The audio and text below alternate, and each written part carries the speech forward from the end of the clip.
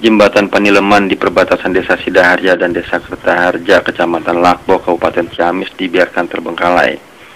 Jembatan itu rusak parah dengan kondisi menganga.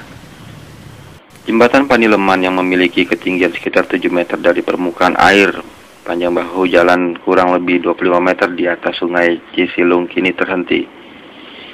Kondisi jembatan yang juga menjadi penghubung jalur alternatif menuju Kota Banjar dan Kabupaten Ciamis, Provinsi Jawa Barat hanya menyisakan dua tiang jembatan.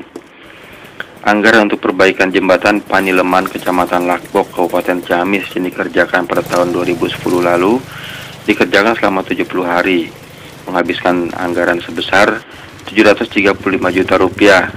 Dari anggaran tersebut hanya dapat dikerjakan satu pondasi saja. Sampai saat ini jembatan dibiarkan terbengkalai.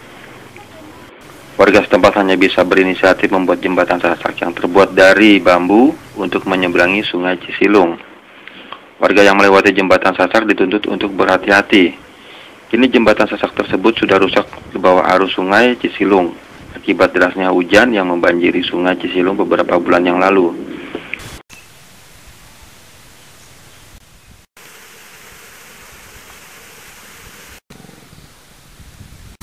ya harapannya ya ya, supaya cepat cepat iya. Tapi kan gimana lagi sih nah orang itu nggak diterusin. Kecil ya cumanya cuman biasanya minta minta. Nggak mintanya sama orang atas karena nggak bisa bicara. Cumanya biasanya ngeluh ngeluh gitu. Sekarang ada laporan ke desa cuman katanya bulan anu bulan anu gitu nggak ada akhirnya.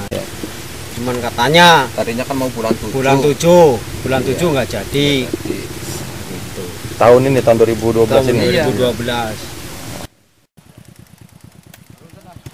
Warga desa Sidaharja dan desa Kertaharja hanya meminta pemerintah untuk memperhatikan kembali jembatan Panileman dan jalan yang rusak parah.